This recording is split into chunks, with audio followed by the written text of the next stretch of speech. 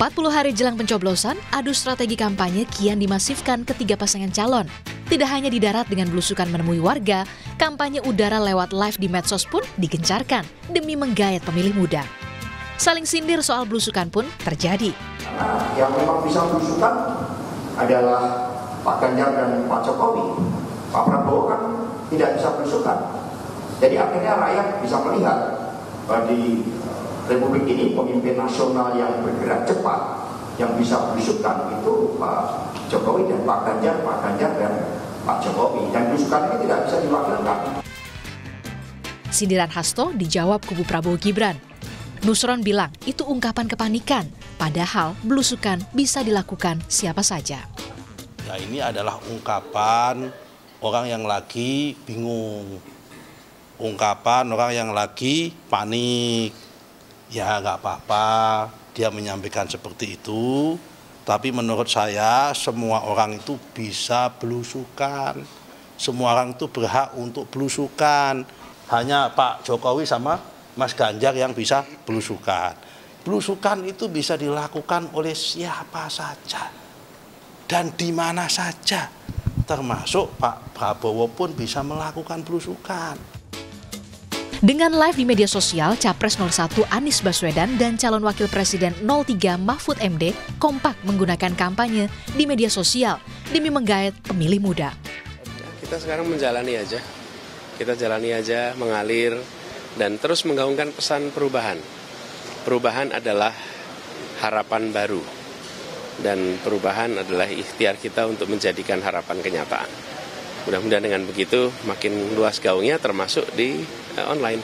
Ya. Ada upaya untuk menjaga konten-konten baru mungkin di medsos yang lain selain TikTok gitu Mas. Nah, kita nikmatin dulu sekarang. Terus.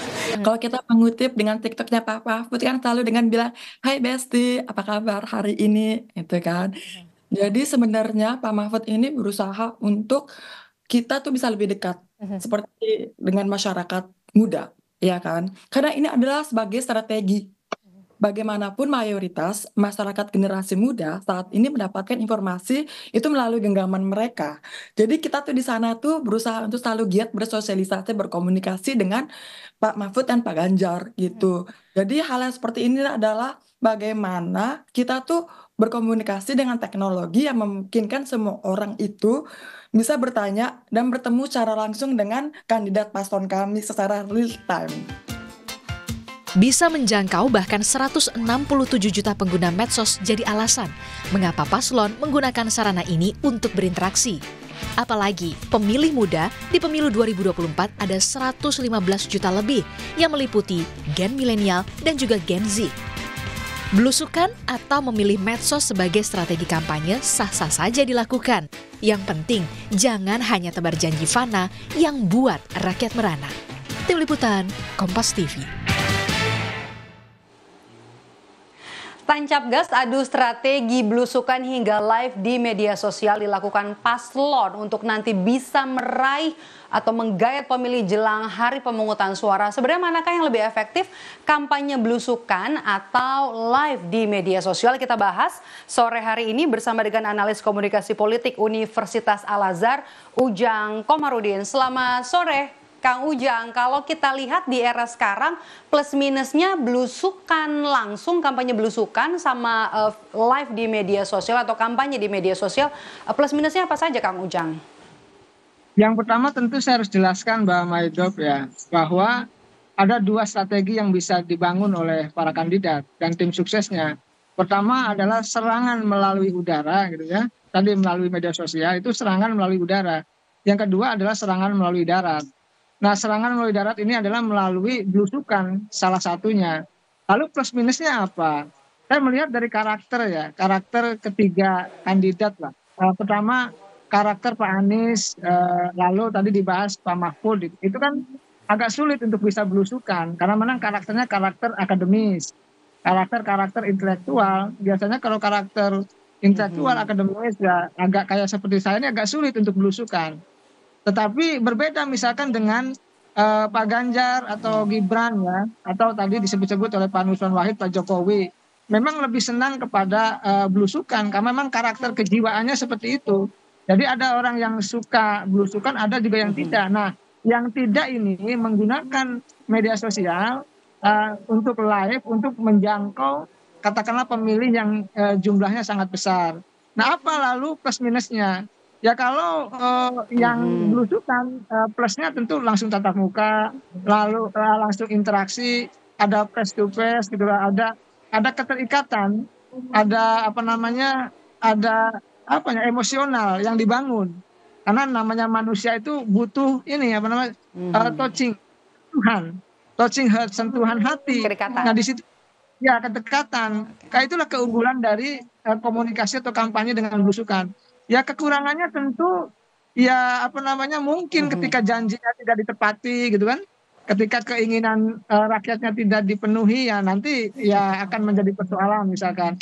Kalau media sosial itu memang kelebihannya uh, jangkauannya sangat luas, sangat besar dan itu bisa uh, mengambil segmen dari pemilih anak-anak muda atau segmen pemilih. Kekurangannya memang tadi tidak ada ada sentuhan langsung, tidak ada sentuhan dari hati ke hati itu yang membuat uh, teknologi walaupun sehebat okay. apa pun, secanggih apa pun okay. ya digunakan ya tidak ada touching head-nya itu begitu. Mm-hmm, Oke, okay. uh, Kang Ujang, kampanye Jokowi, kampanye ala Jokowi uh, dengan kampanye belusukan ala Jokowi itu kan uh, sudah terbukti ya berhasil menggayat pemilih, sudah dilakukan oleh uh, Joko Widodo. Kalau relevansinya kampanye belusukan dengan relevansinya era saat ini gimana? Ya kalau saya sih melihatnya eh, kombinasi Mbak Maedop yang bagus itu kombinasi. Jadi 50% belusukan, 50% melalui media sosial.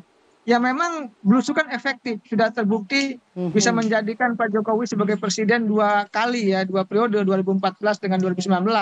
Tetapi mm-hmm. ketika perkembangan teknologi begitu masif, begitu cepat begitu ya, media sosial menjadi sarana jembatan komunikasi antara rakyat gitu ya dengan pemimpinnya, maka ya suka tidak suka, senang tidak senang di 2024 ini ditambah lagi dengan pemilih pemuda yang banyak memegang gadget, banyak yang menggunakan media sosial, maka kampanye hmm. di media sosial menjadi sebuah keniscayaan, menjadi sebuah keharusan, menjadi sebuah kreativitas yang harus dibangun oleh para kandidat. Hmm. Makanya tadi ada yang menggunakan media sosial untuk uh, sebagai alat Jadi, kampanye bagi mereka. Hmm. Oke, jadi menurut Anda Kang Ujang, eh, kampanye di media sosial termasuk juga live mendekati hari hari kita kan udah kurang dari enam bulan lagi ya, bahkan cuma hitungan 40 harian lagi untuk nanti hari pemungutan suara ini jadi hal yang baru yang dinilai efektif nanti untuk bisa menggait pemilih terutama pemilih muda? Kalau soal efektivitas saya belum tahu ya, kan ini kan harus diukur, harus dilakukan survei uh, di lapangan mm -hmm. begitu. Saya tidak bisa mm -hmm. mengatakan bahwa ini efektif atau mm -hmm. tidak.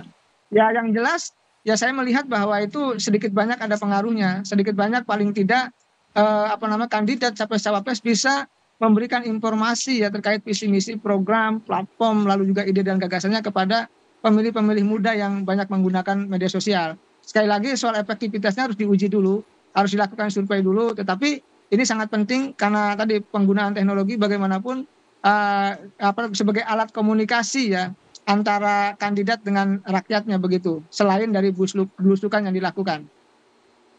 Hmm, tapi hmm. Oke, tapi menurut Anda sebagai analis uh, komunikasi politik nih, Kang Ujang, mana yang lebih efektif antara dua hal ini, kampanye belusukan atau kampanye lewat media sosial termasuk live-nya?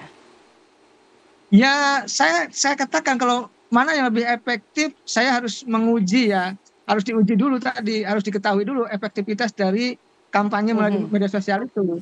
Karena begini, begitu kampanye, apakah mereka memilih di TPS atau tidak? Kan itu.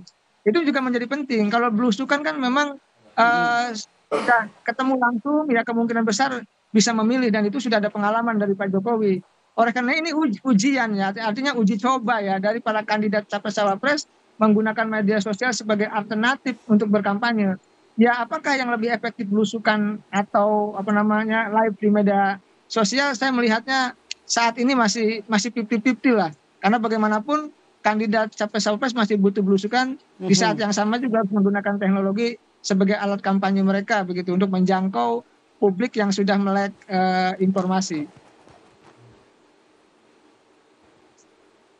Hmm, Oke, kalau gitu kita tambahin satu lagi uh, debat. Kalau dari kampanye belusukan, kemudian juga kampanye di media sosial, termasuk juga live ya, artinya bisa langsung tanya jawab gitu dengan paslon dan juga debat. Antara ketiga hal ini mana sebenarnya yang lebih efektif bisa menggayat pemilih, bisa menyampaikan visi misi mereka? Kalau debat itu kan saya melihat uh, pengaruhnya untuk undecided voters ya, artinya swing voter atau mereka yang masih galau. Yang menurut Litbang Kompas 28,7 persen ke sana.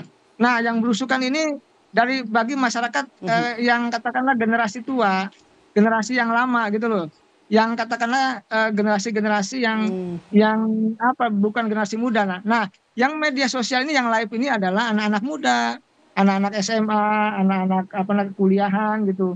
Nah, ini yang yang uh, uh, menjadi kelebihan daripada masing-masing uh, apa namanya uh, cara itu. Jadi saya melihatnya masing-masing cara punya kelebihan dan kekurangan. Tentu yang bagus adalah bagaimana mereka tampil mati-matian Jadi, habis jadi sebenarnya dengan mas- masing-masing masing-masing media ini artinya punya target pemilih masing-masing yang mau digayat begitu ya? Betul, satu itu. Yang kedua, mereka punya cara untuk mengisi ya, untuk mengisi eh, tadi dukungan masing-masing. Jadi live itu juga ada segmentasinya, belusukan juga ada segmentasinya, termasuk debat juga ada segmentasinya. Dan kandidat capres cawapres harus mengisi itu semua ya untuk menambah dukungannya begitu. Jadi eh, ketiga-tiganya harus dilakukan yang terbaik untuk bisa menggayat eh, pemilih.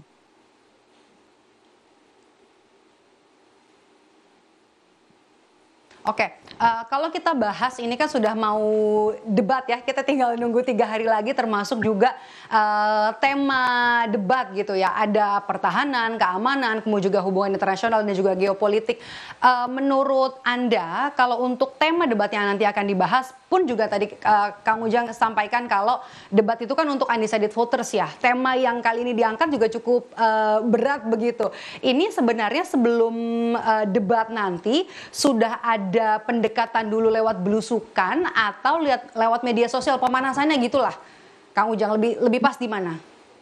Ya biasanya begini, sebelum debat itu biasanya para kandidat dan tim suksesnya, biasanya termasuk konsultannya itu melakukan prakondisi. Prakondisi itu ya eh, apa nah testing the water gitu. Testing the water itu ada yang melakukan belusukan, ada yang melakukan Mhm. apa namanya pemberitaan pemberitaan di apa namanya di narasi politik eh, di media begitu. Itu prakondisi pasti akan Media dibangun. oke. Misalkan siapa yang akan lebih unggul, siapa yang akan bagus, siapa yang menguasai itu pasti akan akan muncul di narasi pemberitaan. Nah, dalam konteks itu ya mereka akan lakukan semua kandidat. Oleh karena itu nanti ujungnya final finalnya gitu ya adalah penampilan di tanggal 7 eh, Januari nanti seperti itu dengan tadi meng, apa mengaitkan dengan prakondisi-prakondisi sebelumnya.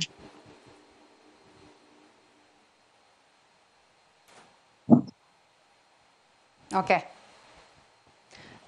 Baik, terima kasih atas perbincangan kita sore hari ini Kang Ujang kita tunggu nanti kira-kira apa masih yang akan dilakukan oleh tiga pasangan calon termasuk juga nanti sepanas apa debat ketiga yang akan digelar pada hari Minggu nanti. Terima kasih Kang Ujang sudah bergabung bersama kami di program Rumah Pemilu. Sehat selalu Kang Ujang.